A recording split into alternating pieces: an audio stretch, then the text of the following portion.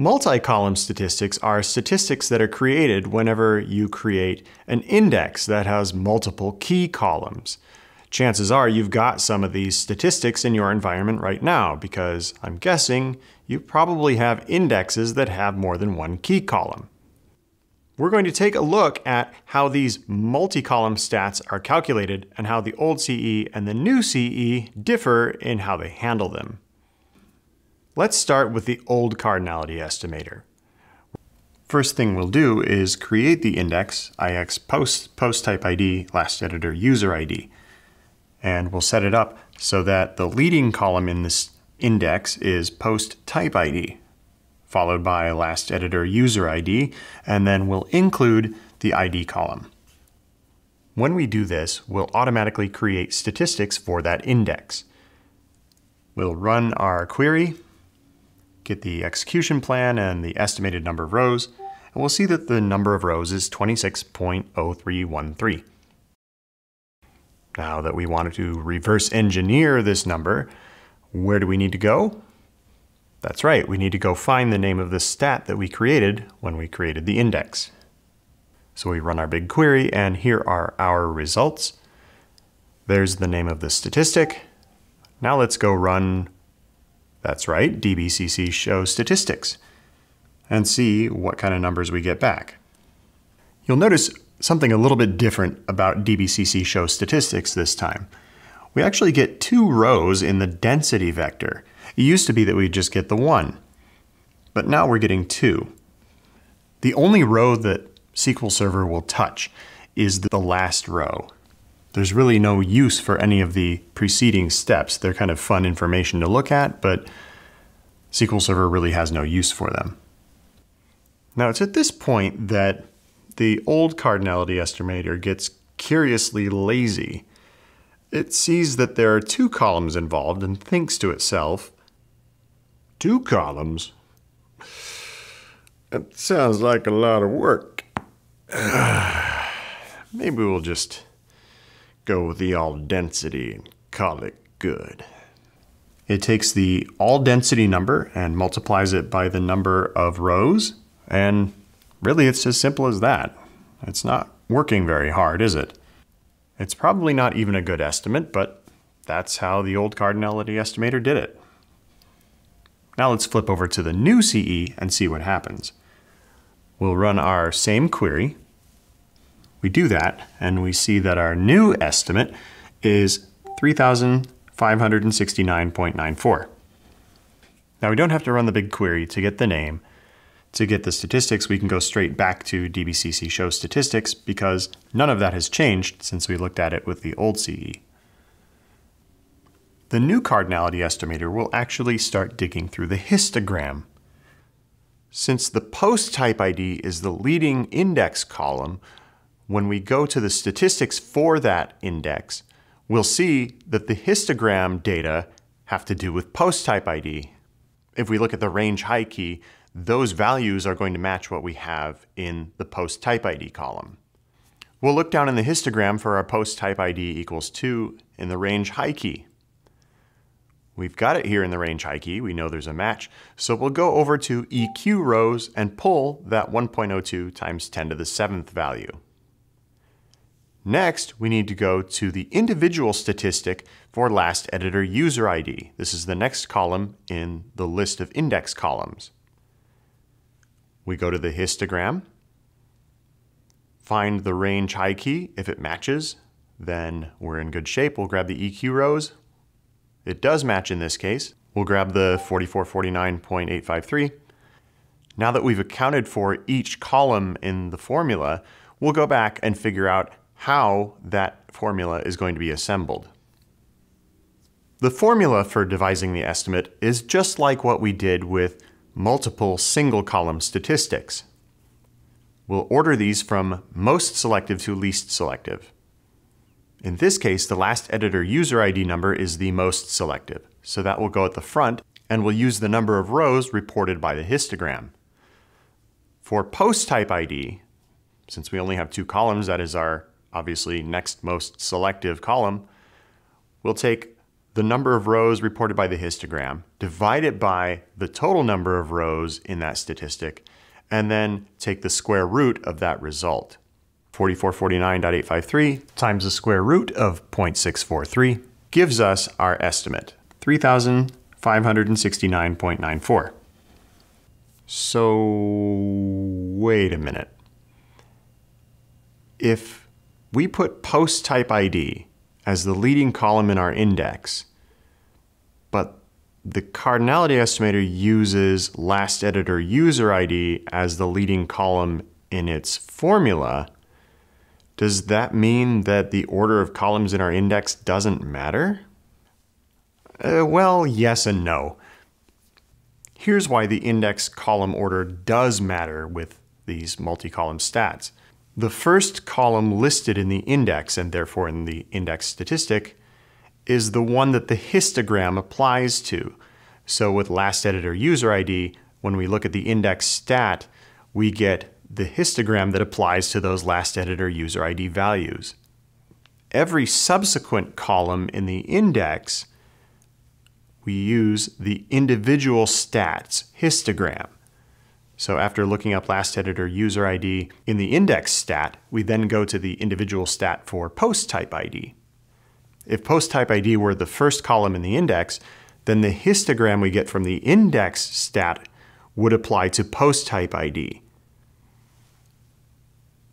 Furthermore, looking at the last editor user ID histogram for the index and looking at the individual stat for last editor user ID, it's unlikely that those two histograms are going to match.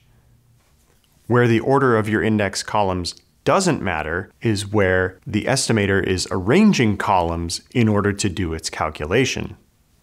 Remember that the new estimator likes to put columns in order from most selective to least selective when putting its formula together. It doesn't really matter that post type ID is the first column in the index. If it's not the most selective, it won't be the first column in the formula. So in this case, last editor user ID, being more selective, gets the starting position. From there, we do the square root of column B. If there's a third column, square root, square root of column C. If there's a fourth column, square root, square root, square root of column D.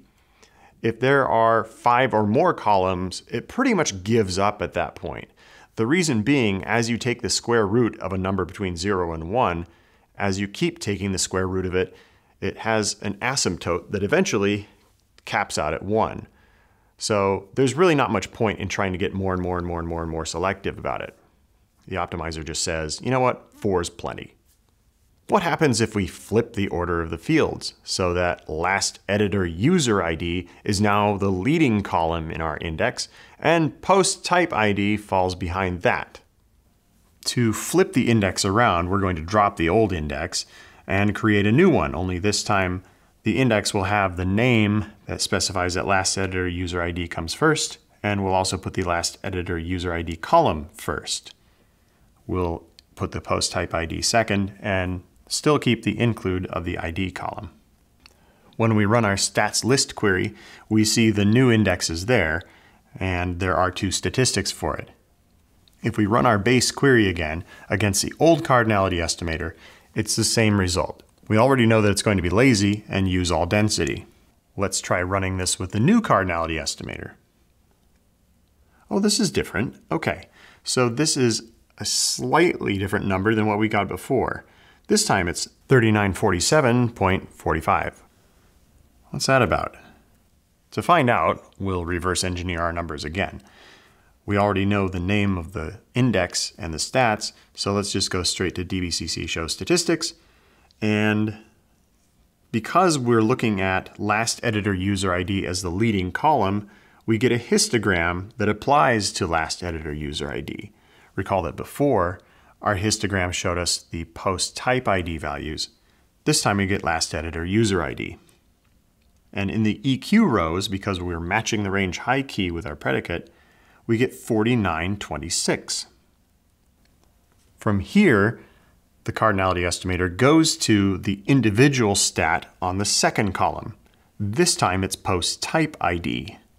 We find the range high key, we get a match with EQ rows, And then this time we take the 4926 estimate, multiply it by the square root of 64.4%, and there's our 3947.45.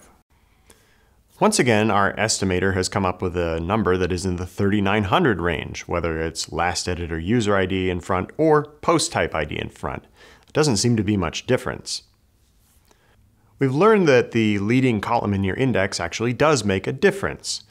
Even though the new cardinality estimator won't take that order of index columns into account when it creates the formula to calculate the estimate, it will return different values in the histogram based on that leading column. Another thing we've learned is that the old cardinality estimator just can't really be bothered to go histogram deep when calculating the estimated number of rows for a multi-column stat, for an index statistic. It'll just give up and go to the all density number instead. We've also learned that the new cardinality estimator will use the histogram and apply that same assumption of correlation when it puts together its formula for the estimated number of rows. So if you're scoring at home, or if you're alone, here's where we are in terms of the new versus the old cardinality estimator. The first statistic that we looked at was a single column, one that was auto-created for last editor user ID. The old and the new estimators both behave the same way, and they were pretty close to the actual, so we'll call that a tie. Next, we looked at multiple single columns, and for this, we had a 2857 estimate for the old cardinality estimator and 356589 for the new. The actual number of rows was 1116, so both estimators overbid, but the old estimator was at least closer. Moving on, we went into multi-column statistics, stats that are created when an index gets created. The first go around, we did post type ID as a leading column, last editor user ID as the following column. The old estimator guessed 26 rows, the new estimator 3,569 rows. The actual was still 1,116. But given that we want SQL Server, if anything, to overshoot a little bit in terms of the number of rows it expects to get back, we prefer the new estimator's number. Flipping the columns around, we did last editor user ID followed by post type ID. Again, the old estimator said 26 rows. The new estimator came up with a slightly different number, 3947, and the actual was still 1116. For the same reasons that we liked the post type ID last editor user ID index from the new estimator, we also like it here in the reverse order. Coming up, we'll look at what happens with filtered statistics, as well as a phenomenon called the ascending key problem, something that has plagued the old estimator for many, many years.